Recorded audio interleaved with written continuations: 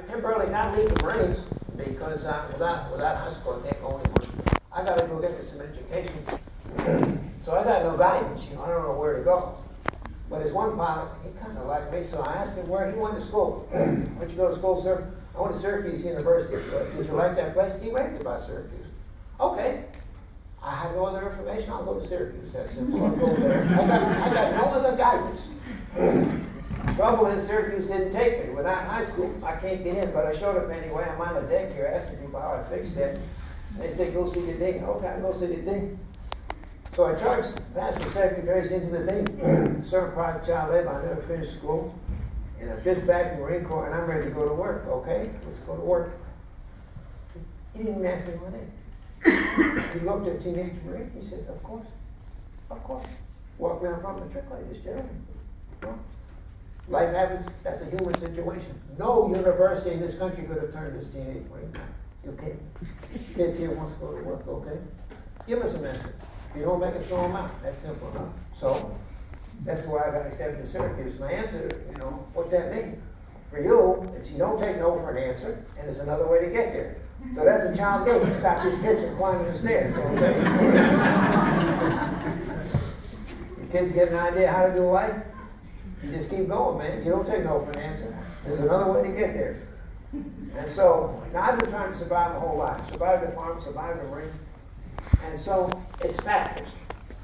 I don't care what you're doing, this is critical lesson. I don't care what your occupation is, where you're trying to go in life. You must identify the factors that will help you get there and the factors that will stop you from getting there.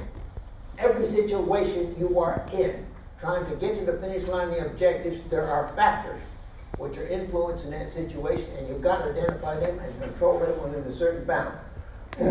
that's what I'm thinking. Curiosity, imagination, that's what I do. That's what I've got in life. Just do the details, that's all.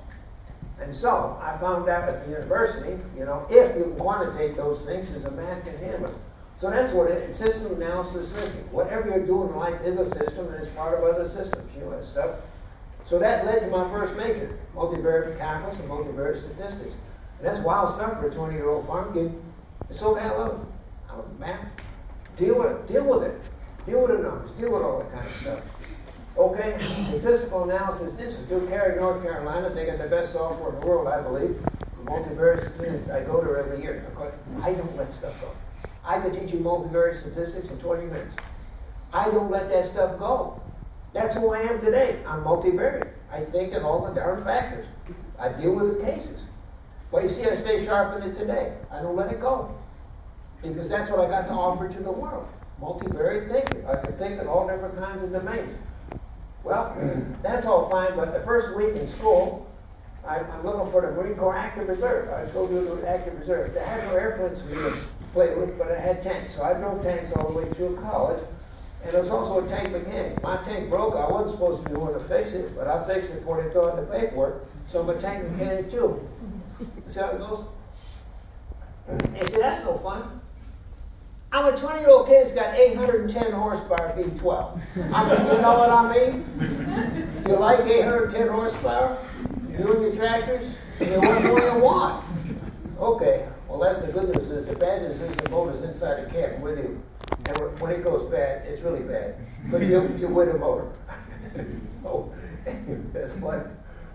Okay. And of course, I did this here too. Of course, I'm already having construction, structural buildings too. Well, I got this little room at college, and I'm making so much money. Some of the money goes to the bank, a lot of it just comes in as checks and cash. The bureau drawer, the, the bureau's full of cash, the bed is full of cash, it's cash in the bed. I got to do something with all this cash.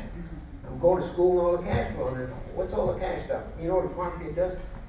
A farm kid throws bales of hay, bags of grain, bundles of corn.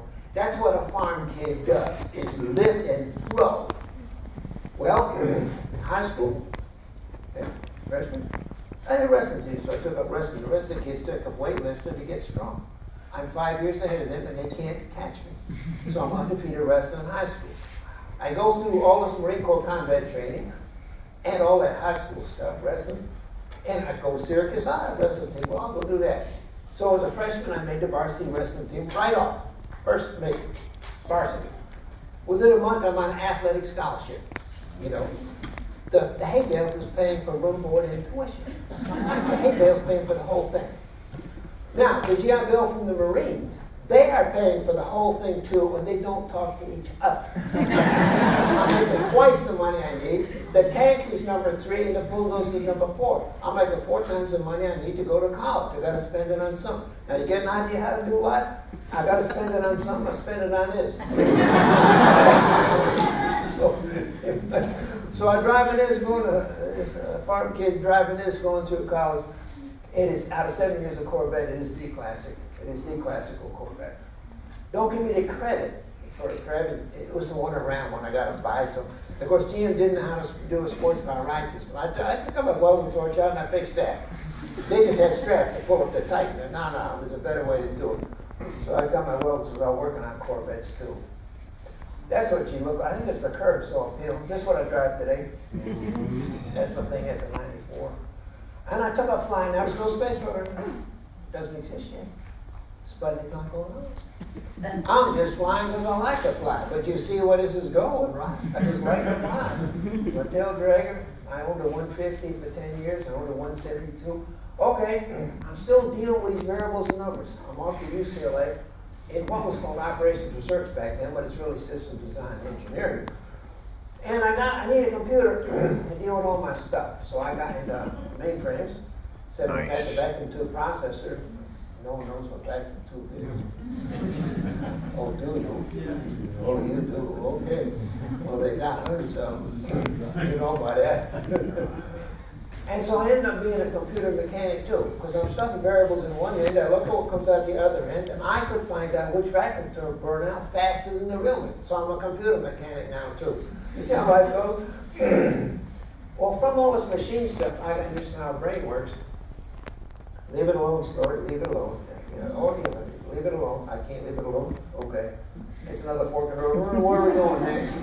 I gotta go study the brain. What's the lesson? Follow your heart, follow your dreams, follow your passion. Follow your heart, folks. What are you excited about? Ah, curious. How's the brain work? We're going to go do that. We'll worry about consequences later. For now, follow your heart. okay, so I'm going to go do that. Well, I think I'll just go back to Syracuse because I already, they already got to pay. They already matriculated. I just go take my pre-med courses. See, I don't have pre-med. courses. But I crossed the Ohio River here on the way going to the East Coast. I run into this 230 year old beautiful town called Marietta, Ohio. I says, wow, this is an incredible little town. I was driving around this place excited. And my goodness, there's a college here too. Well, oh, I find what looks like administration, Bill and I go in. And I said, you all have, um, you have pre-med courses here? Said, Sir, we're a college. Of course we do Do you have an application? Sir, we're a college. Of course we do. Give me one. Okay, I did my pre-med here. Follow your hearts, follow your passion. Okay, I'm not worried about it. if it's accredited or getting in medical school. I don't care. I like this place. Okay, I love this place. You can't go somewhere you don't like. I like this place. I'll go here. This is my medical school application. I filled out all the their forms. I filled out their forms and took their tests, but I'm, I put one typewritten sheet on the whole, top of the whole thing, see? And that's what I am, farmer equipment, heavy equipment, pilot, all this. I got in every medical school in the country. This is age 23, and that's my career, 23. It just happened, one step at a time. But they saw this creature, this creature we got here, he will do whatever he wants to do and he'll fix whatever needs fixing. He'll get the job done. They saw it, he'll get the job done. Now, so, where we go? So I did my interviews here at Columbia Medical School in New York, and I love it. We, we had such good, great interviews. man, wow. I'll go here. So that's it, Columbia Presbyterian. That's George Washington Bridge. There's no Manhattan. Uh, so First week of medical school, I ran into this door. This was on the door. Neurosurgical Research Lab, that's me. It's got neuro. It's got neuro, that's me. So you knock on the door, when I want to work here. Who are you? Well, I'm medical student. We don't have those in here. You know, we have postdoc fellows and, and, and professors and stuff. I said, I'll work for nothing. Get hired. So if that, that gets you the door. Now, I love that. They didn't need more science, they needed a mechanical genius. It's all the electrodes, the oscilloscopes, the this, the manipulators, all this stuff. They it in mechanical genius. They weren't getting there with their research. And I came in and took over the lab. I just made everything happen. I'm so pragmatic, practical. Within a month, I'm publishing papers, significant papers. I published about 15 papers as a medical student. And I'm presenting papers my way, and medicine's paid. I can go to any hospital, any university. my way in medicine is paid because I'm a mechanical genius. So that was luck. You know, sometimes luck's good, sometimes it's bad. This was luck. They needed what I had to offer. Sometimes it's not compatible. I needed it. And so, but across the river, across the Hudson River, right over here, is Lakewood, New Jersey Sport Parachuting Center in New Jersey. And I heard about people falling out of airplanes. The sport just came from France in 61. So this is way back when we didn't know what free fall was people are falling out of airplanes, and I thought this was kind of an exciting idea. This was something to do. So I went over there and I started doing this. There's no space program for me yet, folks. And so, but I cannot leave my family in New York and tell them I'm going to go over the river and fall out of airplanes. It's just not responsible. and I had a family. And so, you know, I went to medical school and I had no kids. But until you took courses in obstetrics and gynecology and found out where they came from, my kids were popping out every spring. and so medical school is four years. I left medical school with four children. so we okay. Just uh, don't egg me on to go any further. but anyway. I got to be responsible. I took my whole family to I took them all. They went through the courses. They went through everything. And jump out of airplane, my instructor on the ground is talking to my helmet on the way down, and I come down, I land within 10 feet of my family. They thought, they saw how exasperating I am about details, and I'm going to guarantee this outcome every time. It's what I do in life. What I do in life. And so, but how do you get good? It's best practice, you know, stuff, procedures, checklist, military checklist, engaged interaction with other parachutists. Hey, come look at how I'm doing. Is this the way you do it? You watch them, how would they do it? And publication, industry standards. Hey, how good can you be? Now, these folks are darn good anyway, but I brought military procedures, I brought the Marines, and I brought checklists. So we got together. My tour duty, we had 300,000 jumps and zero fatalities, okay? That's reasonable. Reasonable? Yeah, that is reasonable. Zero and 300,000 men? I'm not saying I'm a statistician. The odds are not zero. Pretty damn good. Pretty darn good. And then, hey folks, that's what you do in life. You deal with the details, and you're good and you're excellent. In this case, I have to be. But I've never seen a reserve. I don't even know what that. Yes, I got one already, but I've never seen one. I'm not going to do a reserve. So, now, it's time for me to go and do my surgical training. I'm finishing medical school. Through my Marine Corps channels, I heard about this fellow, and he's uh, he went to he went to Yale, then he went to Harvard Medical School, and then he trained at Mass General. You know about that? And uh, he's taking the beachheads with the Marines. What? He has no equipment. He got no hospital. This doctor is taking the beachheads with the Marines. He's doing it in the European. He's doing it in the worst Peleliu and the worst uh, ones out in the Pacific.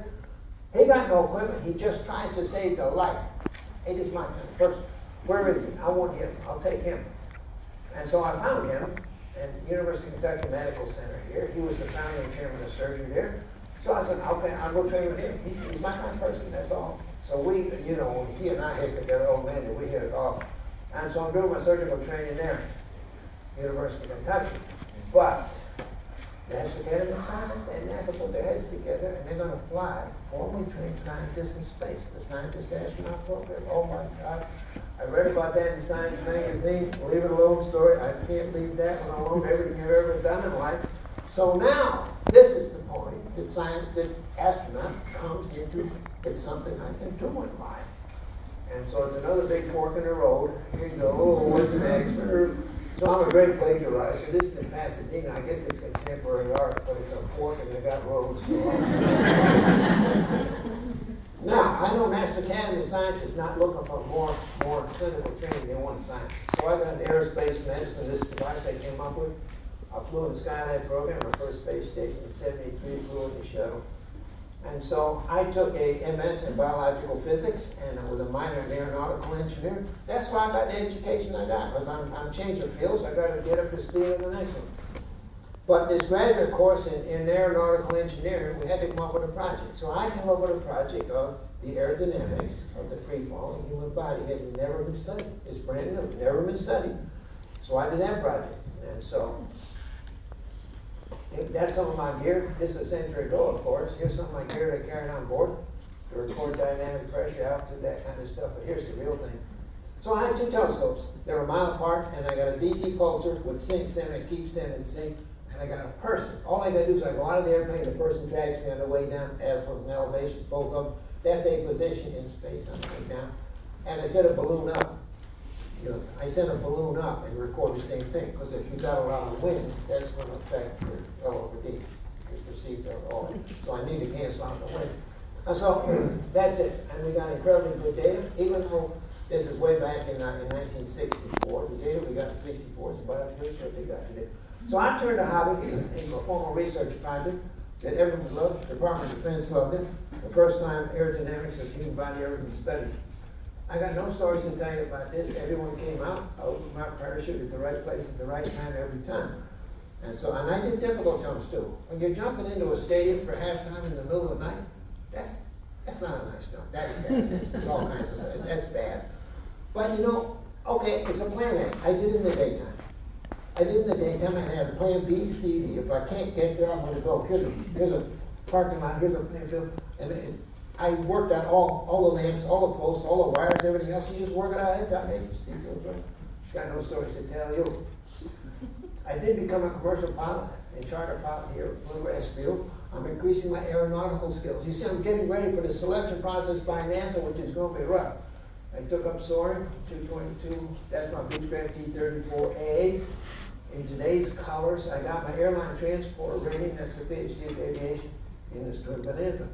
Okay, for this selection process, we had 6,000 applicants here, and they all had PhDs, doctors, done research, and how they became through again. So, out of those 6,000, six of us got to space. Those are bad numbers.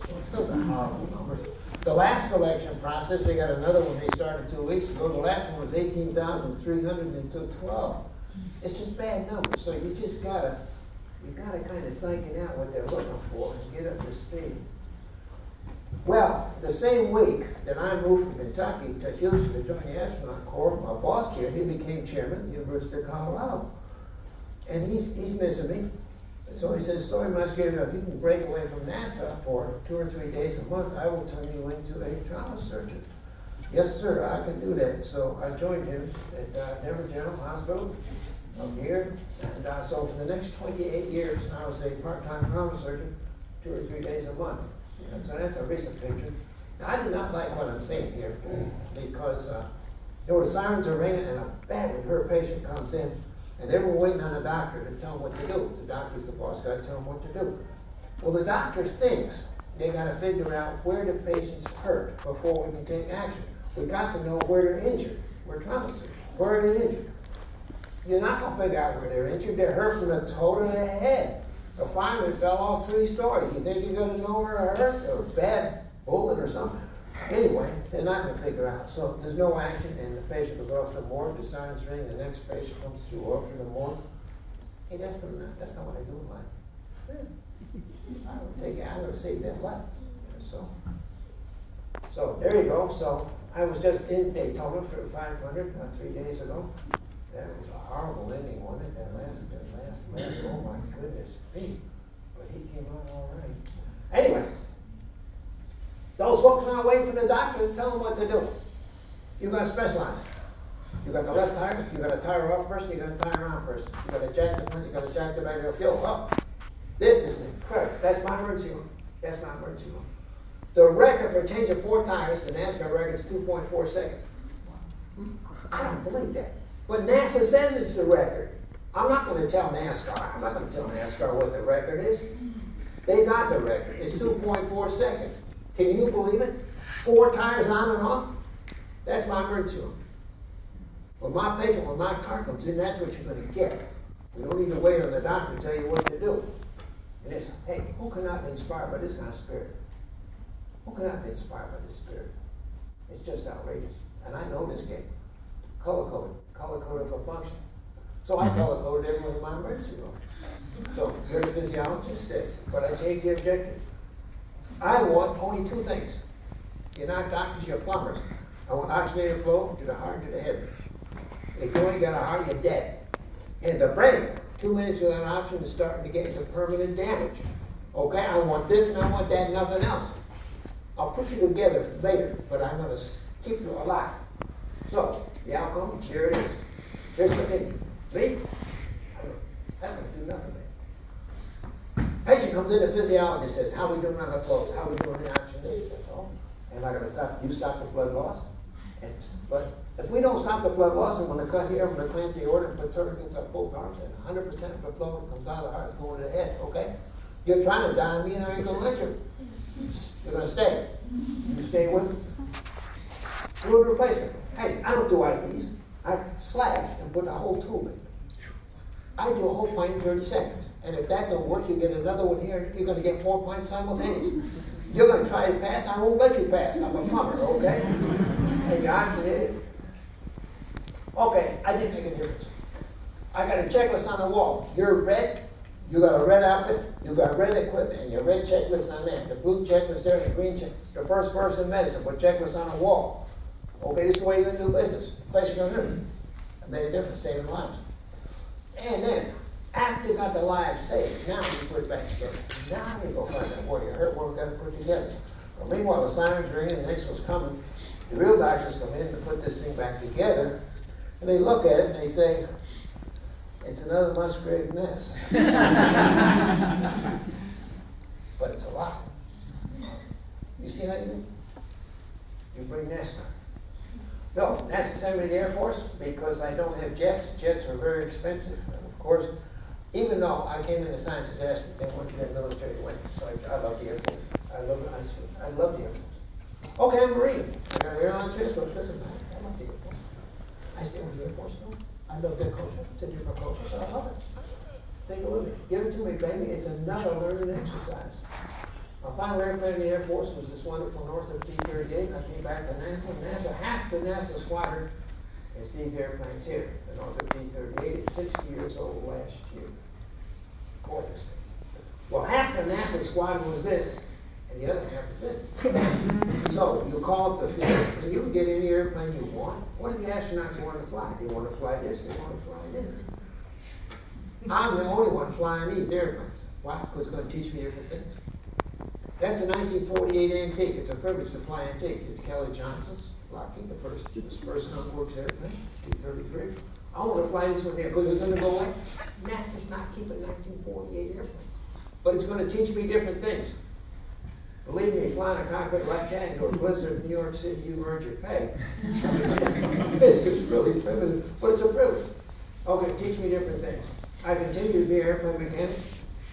So on the way to the flight line, I stopped in the hangar and I see them working on a system that I don't understand that I want to work. So I continued to be an airplane mechanic even though I was supposed to be an astronaut and working on airplanes. But it's the way I understand things. I understand things. Cockpit, every single switch and every lever. When I see a switch, I see in front of my face all the wiring diagrams. I see the effectors, I see the circuit breaker, I see the whole song, everything. That's why I understand things. I take them apart. And so, the mechanics insisted that I be the maintenance staff test pilot on this airplane because I'm already an airplane mechanic because I think this way.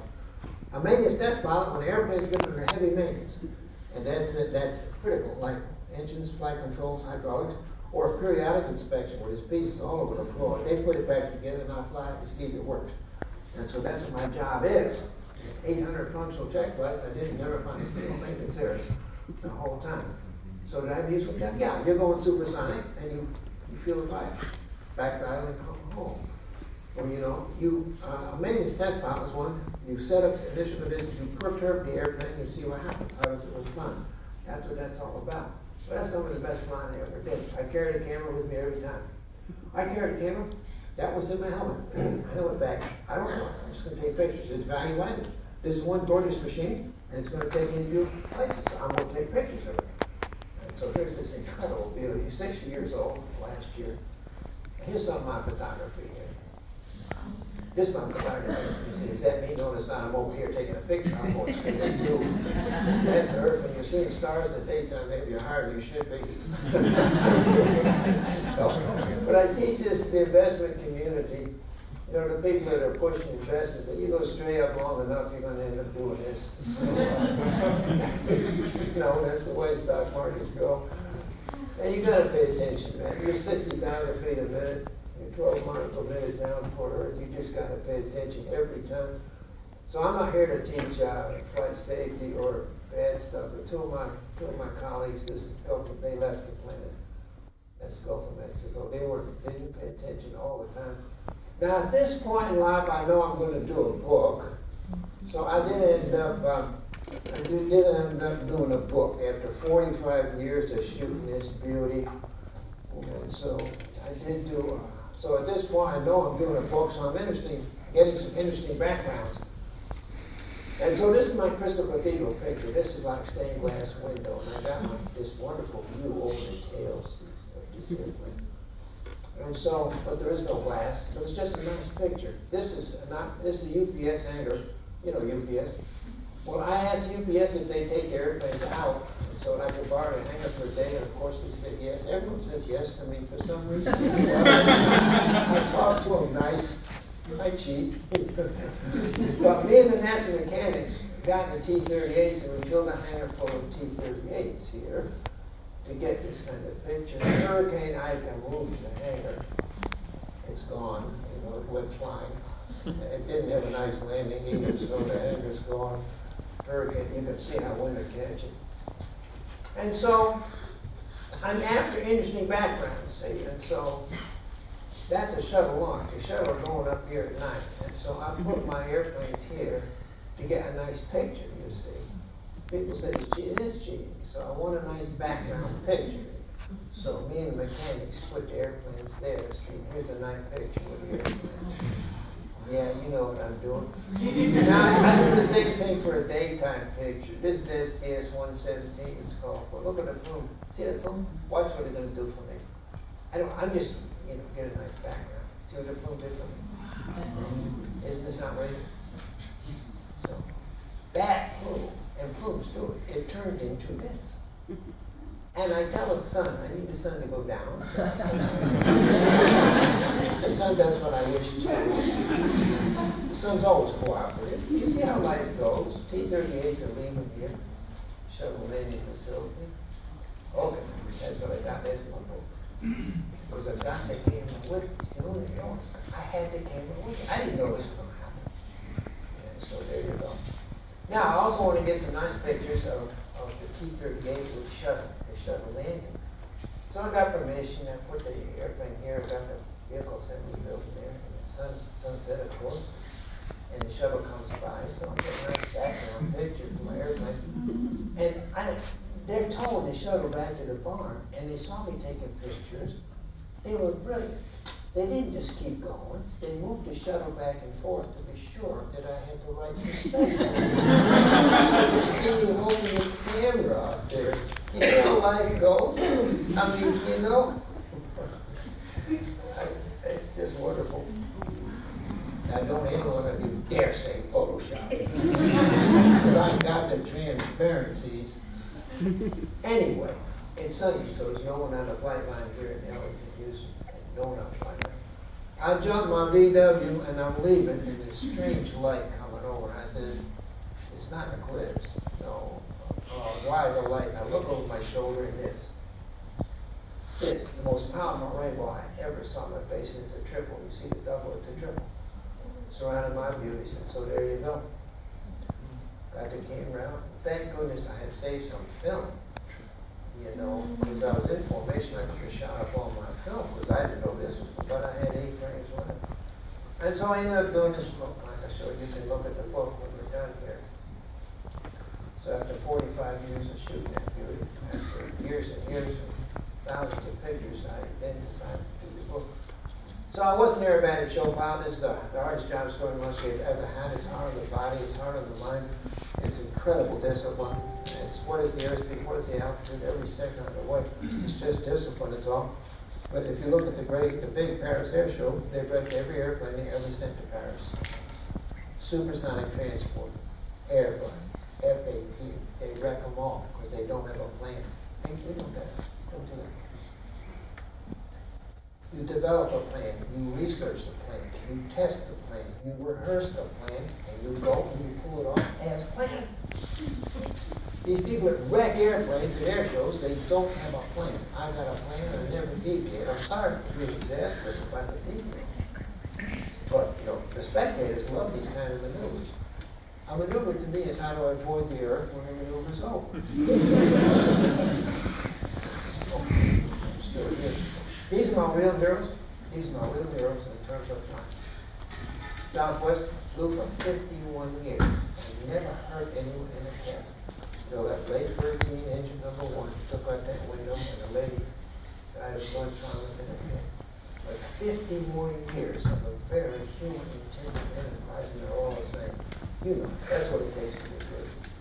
Delta's on an eight days pasture without incident. These folks are all that good, and a newcomer comes to the game and he that And so, part of that business, of course, National Transportation Safety Board, I love it. They are so nuanced, they're looking at the causes, all the factors that got into this game and caused it. But I use them not, and I teach them to other people. It's a whole two-hour discussion. I teach NTSB to other people, not so that you can be an accident investigator, so you can see the future. You have a piece of equipment, you have an environment, you have a situation, and you see all the ways that you go. That's why I teach NTSB. So it's a futuristic forensic paradigm I built to see the future.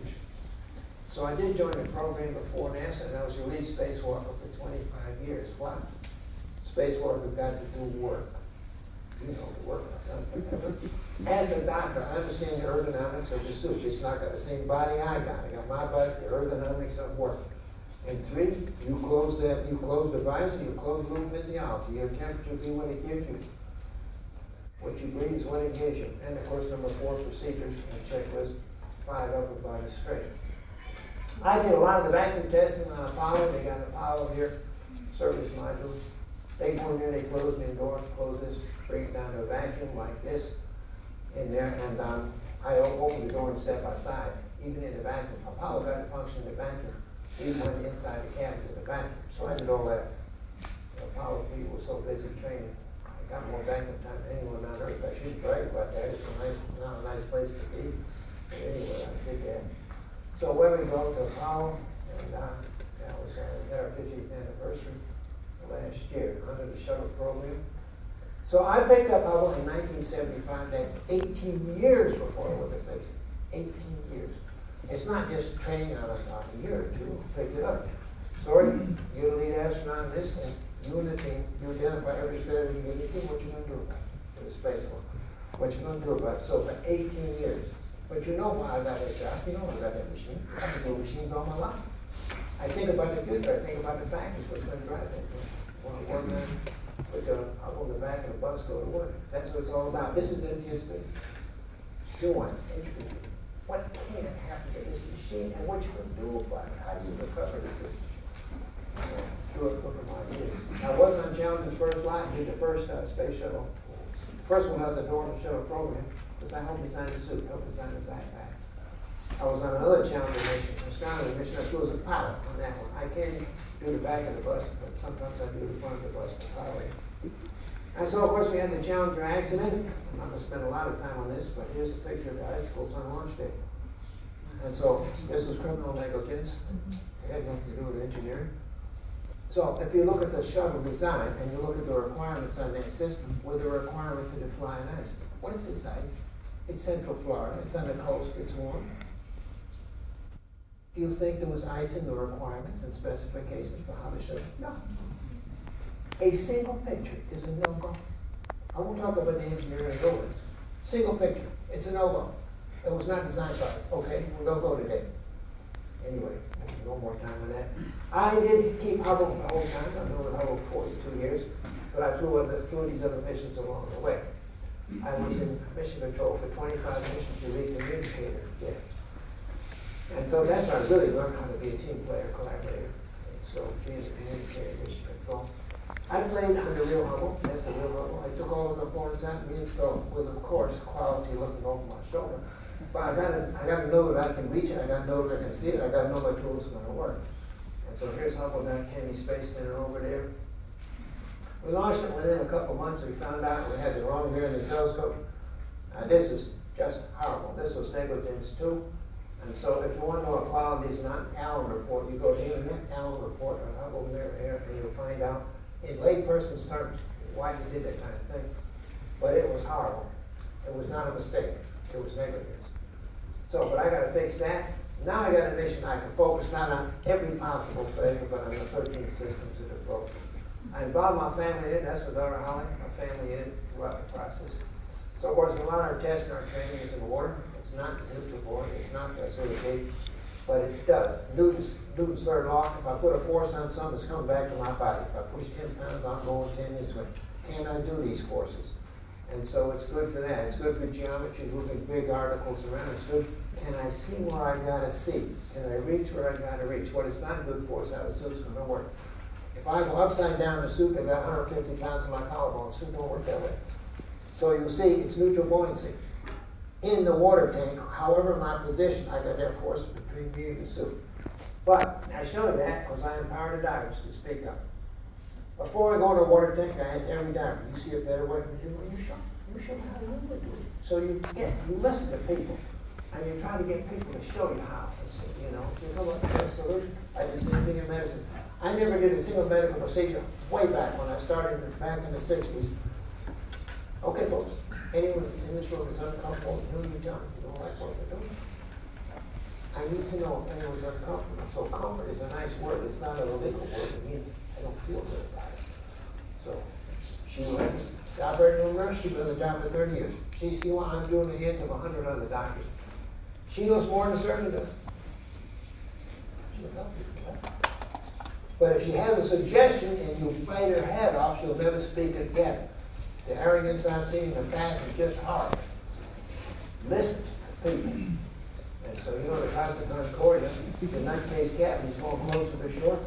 And the night of this accident, he had his girlfriend on the bridge. He's going to push even harder. Yes, he ran into ground. Okay, what, and uh, the company saw him deviating every time he went. My question is, where's the first mate? What was the first mate doing? Seeing this deviance. The second mate, the third mate. Speak up, folks. You don't tolerate deviance. That's it. Go ahead and fire me, but we ain't doing it. See, it's just right. It's insisted upon the plan. Insisted upon the right. Now the Hubble's up there. I'm worried about the toys they're getting me to play. And so, I'm, the fidelity, are they real? But this engineering qualification unit at the Smithsonian, it was guaranteed, built alongside Hubble's, the test article, guaranteed to have the same measurements. So of course, I brought my tools. I'm going to install that in the room. I'll go upstairs when I get there. But here, I'm seeing fit and function, and it works here, and I'm training my body. Yes, I'm not in the suit, but I'm training my body what it takes to do that job. So I'm after those details again. I'll go to the Smithsonian when I start. Now here's the real test. That's in the vacuum chamber, activating temperatures and anticipating in flight. And I'm rehearsing to do that uh, tomorrow. Now, what's the temperature? What's the temperature in flight? There's no air, so it's purely radiative exchange.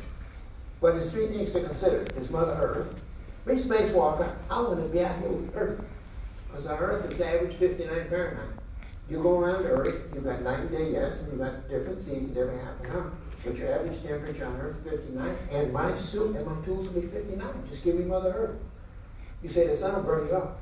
The sun's 6,000, but it's only the area of your thumb. Around it is 3 degrees Kelvin. You come out fine. What you can't tolerate is the blackness of space. It's minus 470.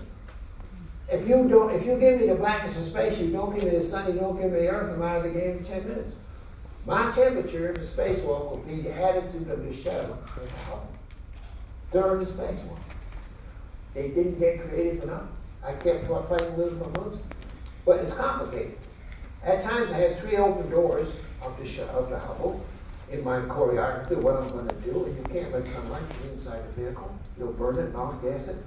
And so they got a point in tennis here and there, very complicated, but they weren't creative enough. They made me run it minus 120 Fahrenheit.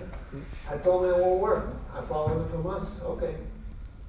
So I went ahead and ran it minus 120 Fahrenheit. I got insulated gloves, but not that insulated. It hurt so bad. But I came out of there with eight dead fingers. So this is me six months before flight. I got eight dead fingers.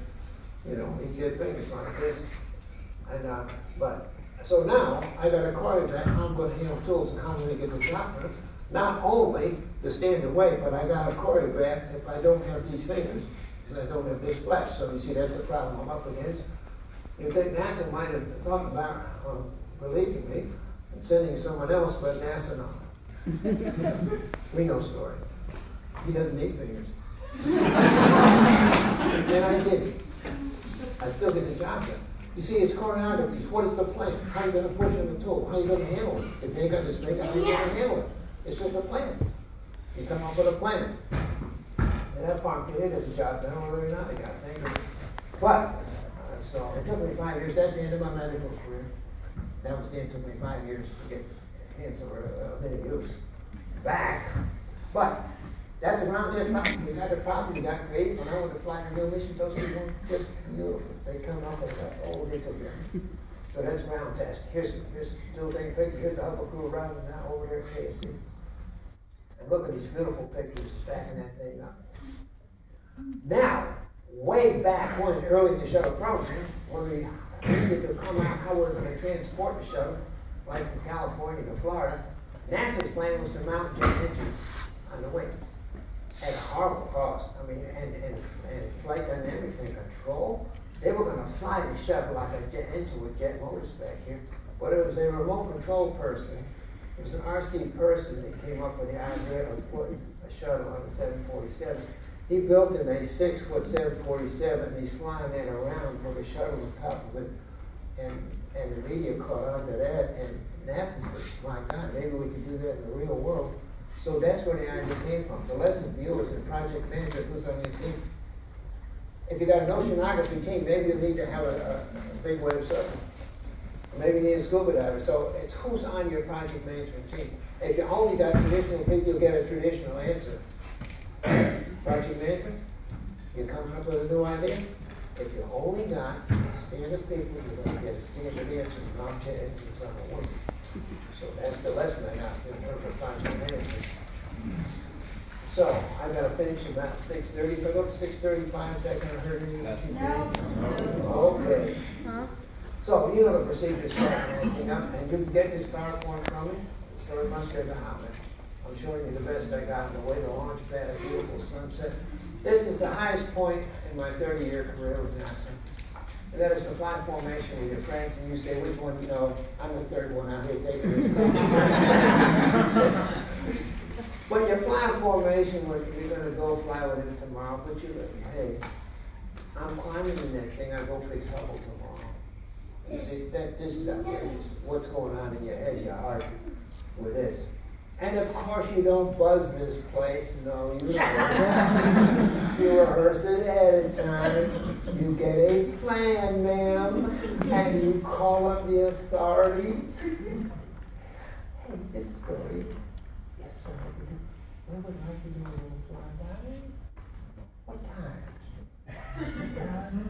okay, I'm just saying, this is a plan. Talk to people. Listen to them. Is this okay? Right. Get it right. And they love you for doing it. You just inspire the troops coming by on formation. Do it right. We have rehearsed this thing, and they know you're coming. With Troy, he's my suit tank. Troy here, he's he takes my helmet, he, my gloves, the whole. He's the last person I see before I depart. He's fast in and leaves. And so we raised the bar for 30 years. We just got better and better. You just keep doing it. I'll do it better. And he, he left last year, so he's gone. But he ain't gone to my heart. So away we go. This is outrageous. This is one of our most beautiful pictures. And They sent me an email. The person that lives over here took it. He sent it. Yeah, you like this one? I love it. Sorry. It's love it. It's a lot better than the cameras that are right close to the launch pad. Mm-hmm. It's a beautiful picture. It's not beautiful flying. It's not inside. It's not so nice. It shake around a roll, man, you don't, you know, it's not so nice inside. I did, I was the only one to fly on every shuttle, I got to fly on every one of them, the only one. The reason that ever occurred to anyone is ten fingernails embedded in every instrument panel, they did the DNA on it, and they found out it was me. We in space, we go get Hubble. After eighteen years now, I've got in the back of the bus, going to work. Yes, we deserve this. The wrong mirror was a horrible thing, but also the early fares. When you buy a new car and it breaks before you get home, it ain't because it wore out, it's just quality or design. When things fail early, it's quality or design, it's not it wore out. And so those other components, the other twelve components that failed should not have broken. This one I do take up with, I trained with the best athletes in the world, including Dorothy Hamill, figure skating. But I'm an athlete. See, the way I look upon things is, me and my suit and the tools, we go on, we do a dance out there. It's a dance. It's like ballet. And the tools, we do dance. We get the job done, we don't. But that's how close do choreograph every finger and every toe, every movement in the leg, the same as the athlete. I'm an athletic player. So I brought the perfection of athleticism to the world. And it's a real space walk. The doggone the admiration I got for these folks, twenty thousand volts. And so I, I trained with them. I raised their bar, they raised my bar. We do this thing together. And so after Hurricane Irma, which you remember Irma that plowed through Florida, Duke Energy brought all these troops in from outside to put it all back together. Before they sent them home, they say, story. You gotta go climb a pole with these people before they go home. Okay, here I go. I knew they were gonna call. The troop does tell me, you do know a story when you're up the pole, we don't have any juice in the line. You okay. They're not gonna take, but anyway, you cannot help but be inspired. The work is going out there. So there I am after eighteen years, southern, southern Australia, came to, uh, after eighteen years, the real thing, loving the door in, like I say. I want them up, I want them, I'm looking over my shoulder. That's an optical box I put in the fix, uh, for the lower there. That's your, your beautiful camera, seven hundred pound camera, that's brings you the pictures from Hubble, the visual.